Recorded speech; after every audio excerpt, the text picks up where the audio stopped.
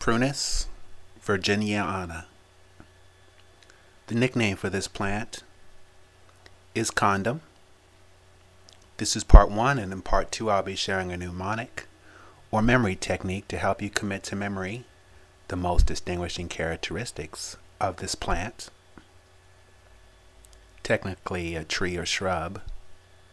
Be sure to watch all of part one so that part two is understandable.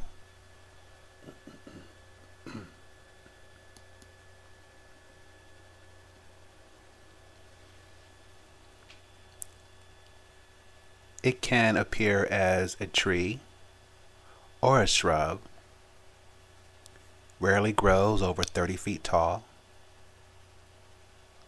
10 to 20 feet wide when mature. It is thicket forming, has an irregular crown,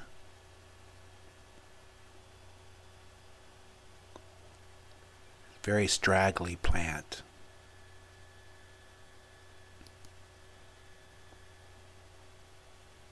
The bark has prominent corky spots, which are reddish white. As you see, the bark is shiny.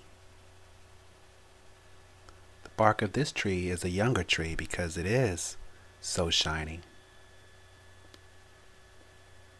As the tree matures, becomes more dark and develops deep fissures or ridges.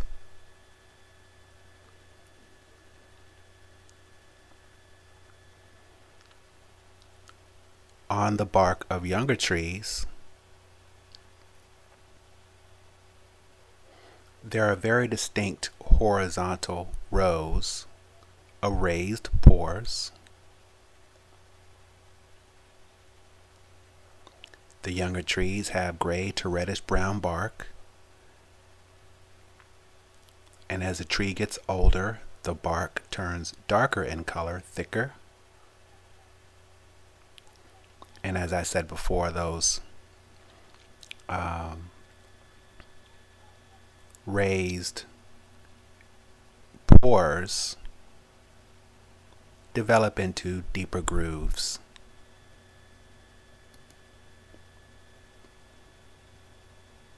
This is an older tree here.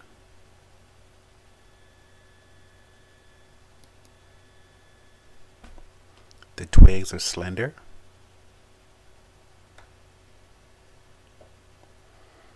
And if they're broken, they will emit a bitter almond odor. And as you see, the twigs are covered with brownish scales.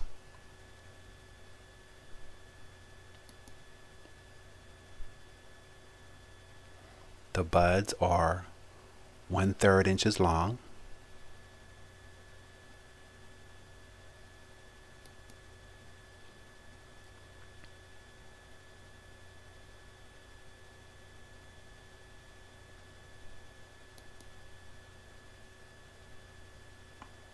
This is a picture of one of the individual flowers. As you see, it has five petals, which are almost round. There are about 25 stamen. Petals are white, as you see.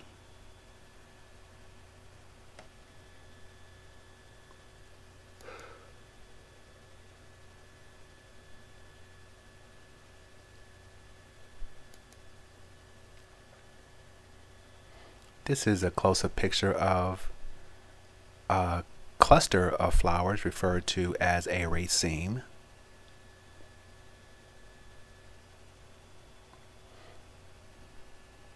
There are numerous flowers which form this raceme and they appear before the flowers are fully or before the leaves are fully developed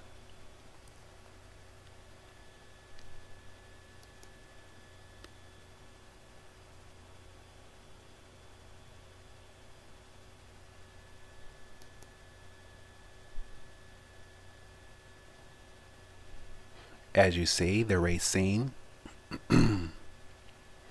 is referred to as a flower spike in this case.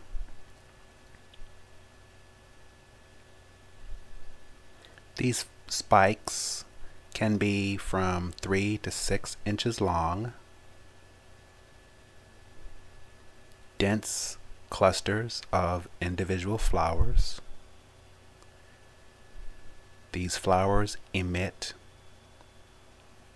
an almond like fragrance. As you see, they are arranged in cylindrical, elongated form.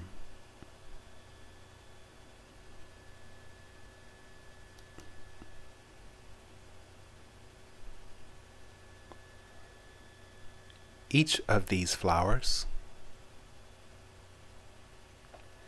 are about one quarter to three eighths inches in diameter.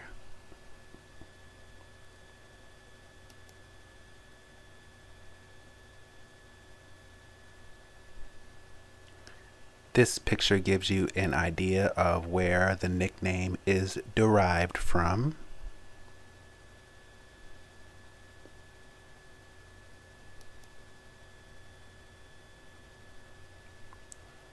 Now these flowers will be replaced with the fruit or berries.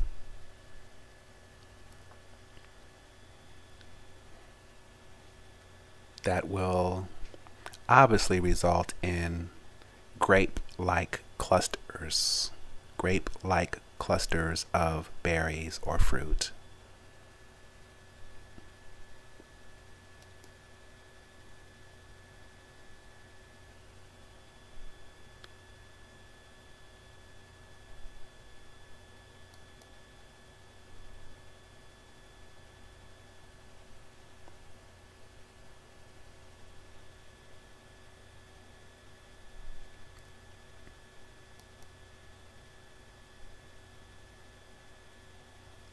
Here is a picture of some unripened fruit. Note the plum like or cherry like seam that is barely seen here that plays a part in the mnemonic in part 2 or memory technique in part 2.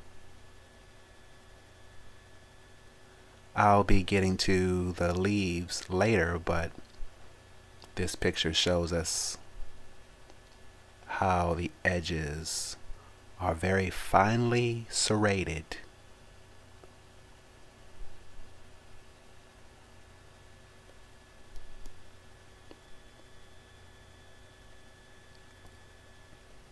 The fruit is fleshy.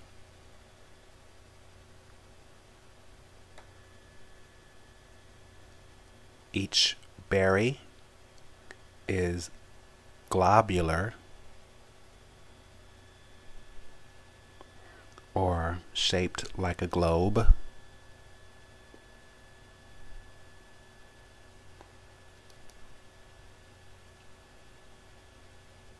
They're soft when ripe. There's a pit or large seed in the center, smaller than the commercial or the uh, typical black cherry, being about one quarter to three eighths inches in diameter.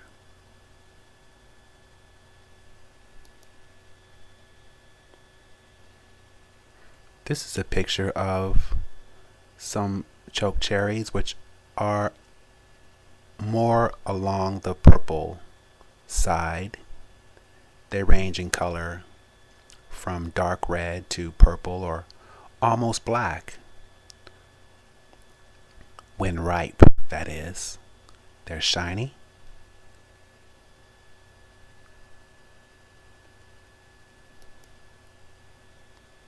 Shows you a picture of the pit inside.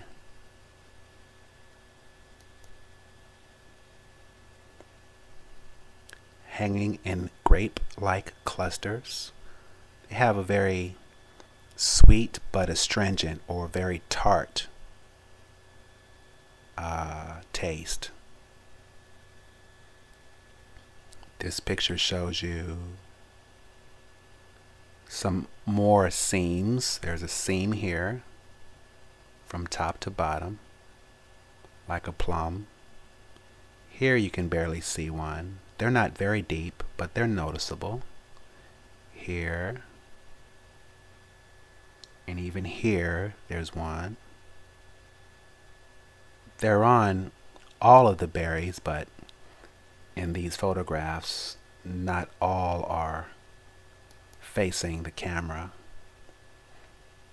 Here, more of the seams are noticeable. Consistent characteristic in all plum or cherry species of plants. Dark red. These are some of the pits.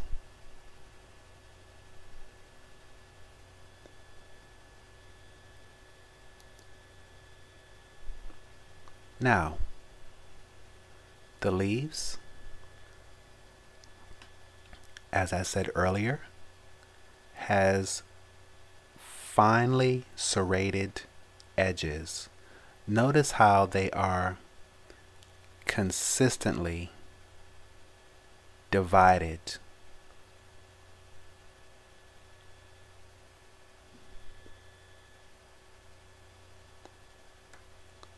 The leaves are green and shiny, as you can see there.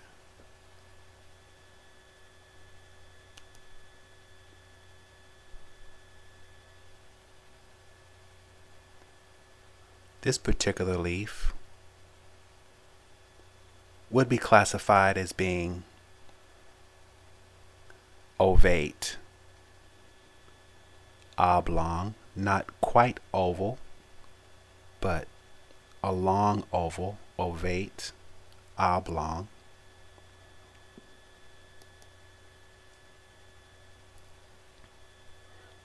This is the second of three shapes that the leaves can appear in on this tree or shrub and this shape is referred to in botany as elliptic or football shaped.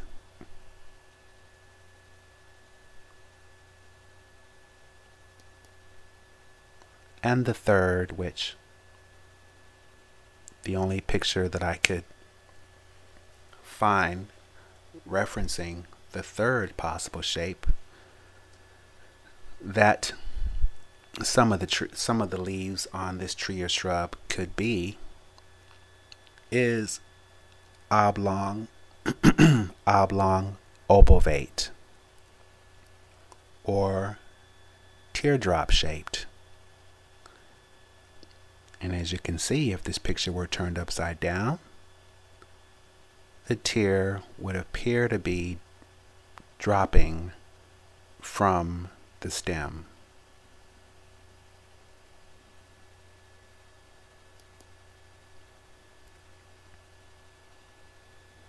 The leaves have two glands where in about the area where the leaf meets the stem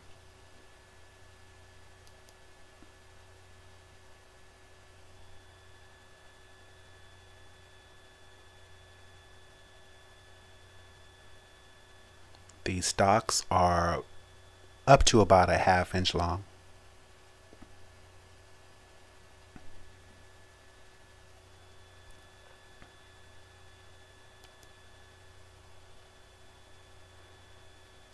And the leaves are also usually abruptly pointed. The blades are one to to 4 inches long and from 1 to 2 inches wide.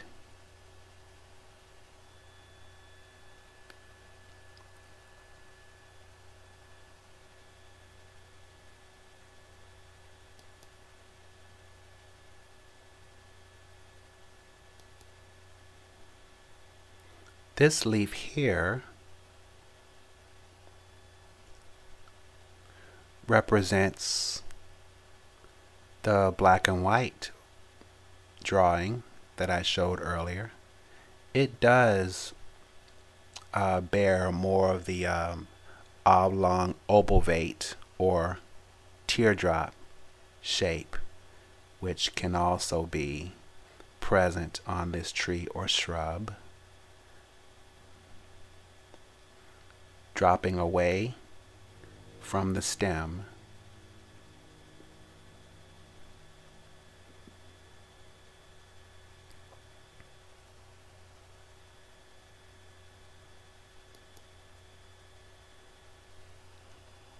The leaflets alternate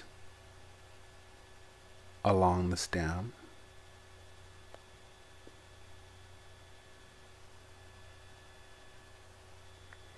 And when they are crushed, they emit a fragrance resembling cherry.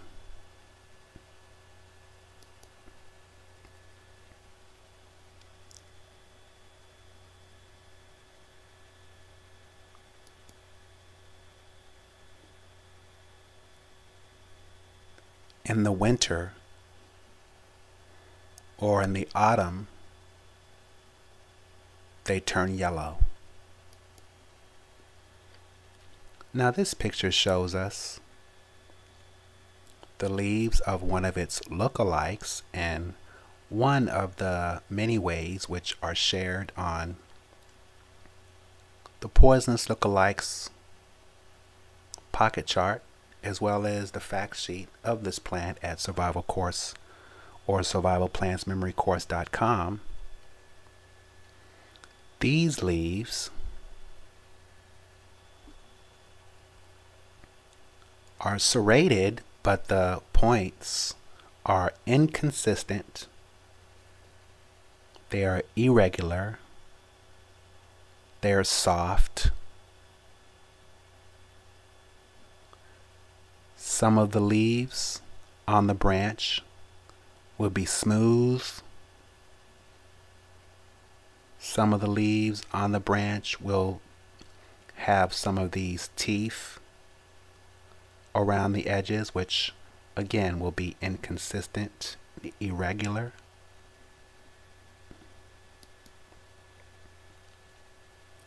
This is another picture of the look-alike. Not consistent, not very finely or closely um, arranged.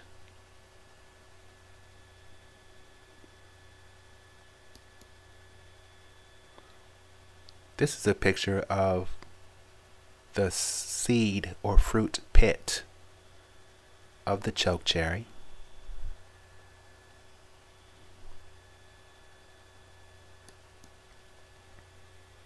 Now the edible parts of this plant are the fruit and the seeds. To learn how to prepare these parts, visit Survival Plants Memory Course com.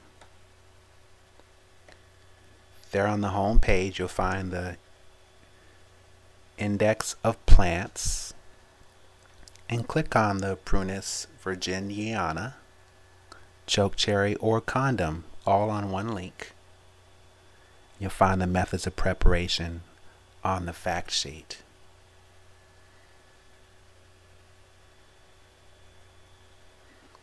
This has been part one. And in part two, I'll be sharing a mnemonic or memory technique to help you commit to memory the most distinguishing characteristics of this plant for identifying purposes. Thank you for watching.